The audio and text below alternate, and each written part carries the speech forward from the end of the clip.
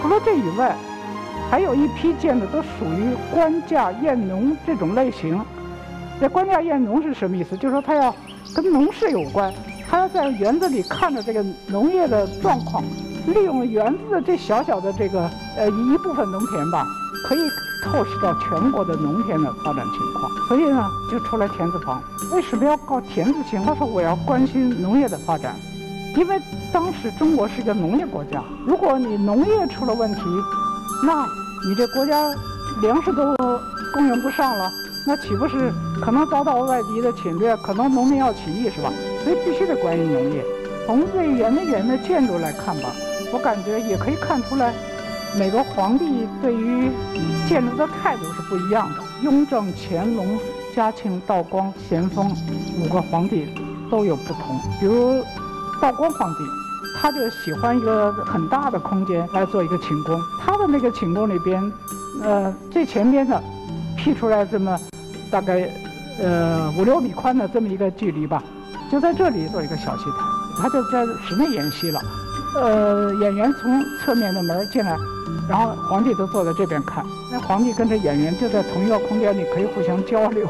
但是呢，五个皇帝，我感觉对比比较强烈的是雍正和乾隆。这雍正吧，还是比较低调的，他的房子盖的可以说比较朴素。都是灰的屋顶啊，没有用什么琉璃瓦。比如杏花春馆，杏花春馆就是他原来的菜谱，他的菜谱呢，呃，当时呢是规模很小的，是吧？就是种种菜什么的，是皇子时期的。那么后来，呃，里边又种了杏花啊，又盖了一个房子叫杏花春馆了。但是呢，这杏花春馆呢，后来到了乾隆时期，他还把它又改了一下，他觉得这个。呃，都是菜谱太自然了，我还是给它提升一下吧。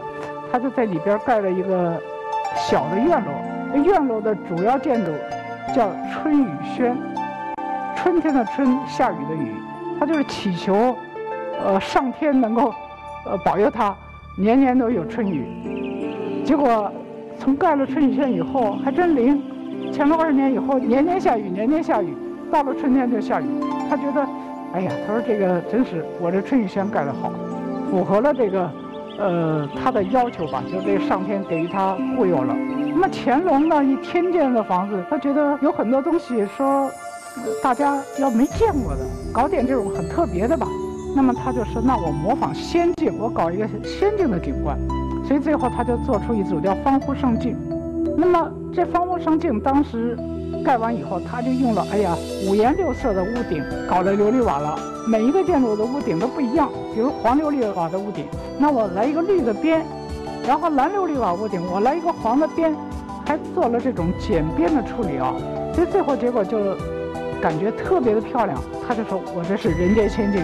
他说我觉得想想看历史上，就是秦始皇还派了什么徐福啊，带着什么童男童女跑东海去找仙境。最后说船也没了，人也没了，也没找到仙境。他说其实仙境不就在我园子里吗？所以这乾隆皇帝就是他很有这种畅想的精神啊。